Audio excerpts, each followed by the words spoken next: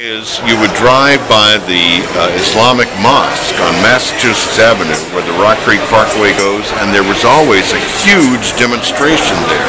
And it was very it was very scary. It was a very tense frightening time. And there was a demonstration on Mass Avenue every day.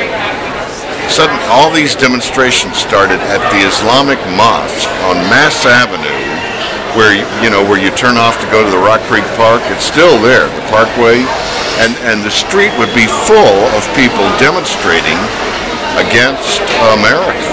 And it was a tense, scary time.